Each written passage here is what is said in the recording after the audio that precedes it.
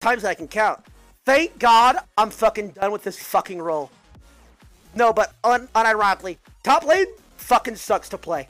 Bro, the lane's too long. To, it's way too fucking long. It's better. It's it's fun if it was top versus top. And if you get counter pick, it's fun. And if your jungle pass towards you, it's fun. And if you don't have to leash, it's fun. And if you outscale, it's fun.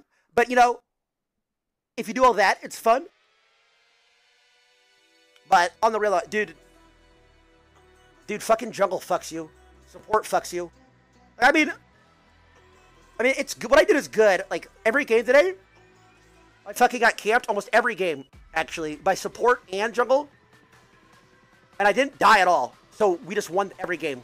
But like me, like how many players do you think could do that? Like just not ego the fucking game. Tell me. Tell me. Tell me. Could bitch boy Blade do that? No. He'd be fucking.